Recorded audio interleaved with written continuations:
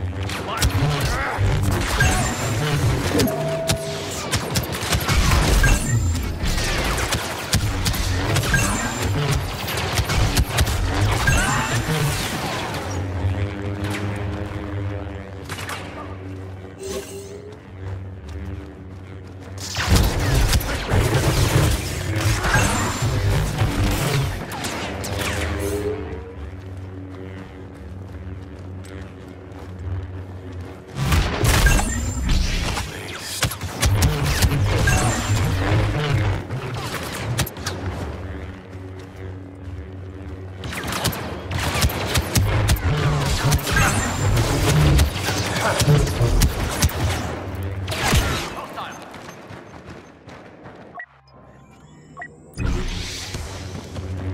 will always survive.